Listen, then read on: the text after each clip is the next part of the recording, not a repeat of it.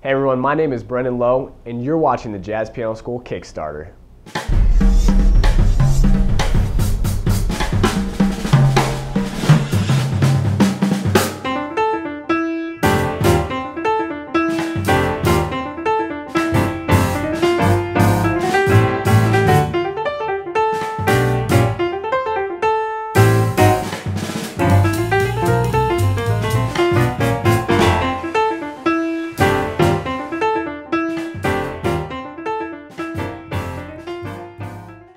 I graduated from the New School University, I did a lot of teaching and gigging, and I had a lot of different experiences with jazz piano education.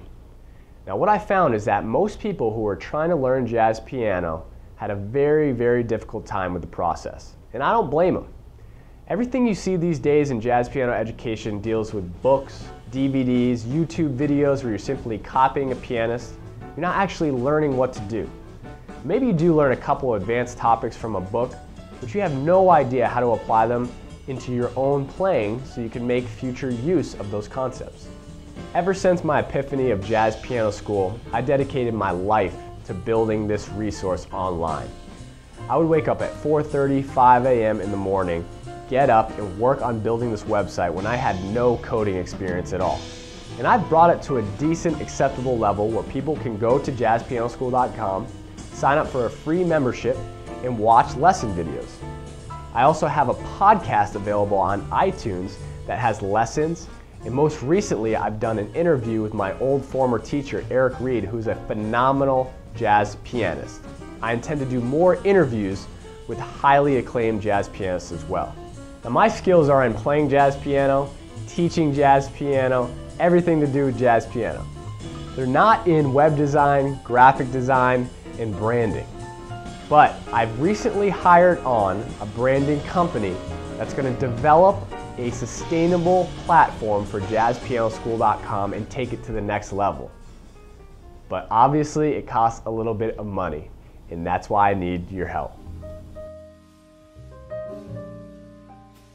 Now I'm sure you're wondering a little bit about who I am, what's my story, and why I'm doing this. Well here it is. I started playing piano when I was five. I'm 29, I'm about to turn 30. I grew up in a very, very musical family. My father is the current concertmaster of the Boston Symphony Orchestra. Now, my late grandfather also played violin and taught my father how to play when he was very young. My grandmother, who's still living, plays piano, viola, and also sings. My other uncle is the concertmaster of the Quebec Symphony Orchestra. His brother is the principal cellist in a symphony in Canada. And my other aunt is also a cellist. So I've been very, very privileged to grow up around music and learn from all the musical experiences that my family has shared with me. I studied classical music for 15 years and I loved every second of it. Well, maybe not every second of it, not the times when I had to practice, of course, but I wanted to get better and improve, so I did my best to work through the hardships of practicing piano. When I got to a certain point, I heard this album by Itzhak Perlman, a classical violinist, and Oscar Peterson, a jazz pianist. Now this album changed the rest of my life. I fell in love with jazz after hearing Oscar Peterson play. I had to get all the jazz albums, I had to learn as much as possible, I bought as many books as I could, I sunk my teeth into all the jazz information and education I could possibly get my hands on.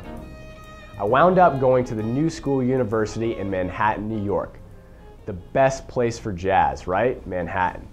I graduated with a degree in jazz piano performance. Now you have two options at this point.